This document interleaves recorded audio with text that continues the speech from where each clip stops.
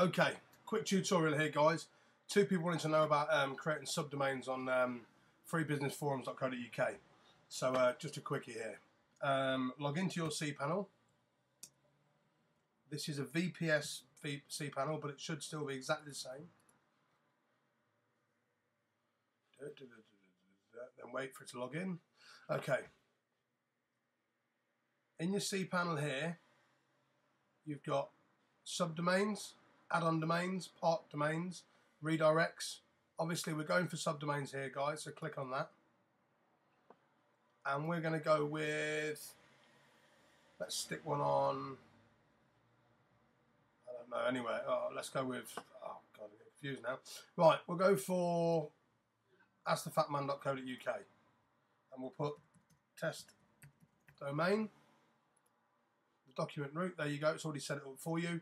Obviously, if you want to do this like um, sub ask the fat man, so I know what it is, and then create, and there you go. You then have the new domain. Now let's just check that. Into the browser window. Okay, it doesn't exist yet as far as it's concerned. I did do it two seconds ago. It's normally very, very quick, to be fair. But that's how you set up a domain. Now, if we go back in, obviously what you're going to need to do now is give it your FTP so you can get into it. So, FTP accounts. Right, your uh, we won't have one yet, obviously.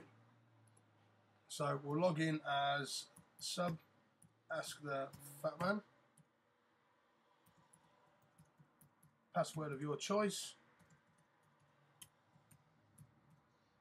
Okay, and there you go. The directory is sub at the fat man as I wanted. Okay, create FTP account, and there we go. And it should be as simple as that. Okay, hope that helps. I'll stick it up. Any questions? Email kip at kipfx.com or post on the forum. Thank you. Bye bye.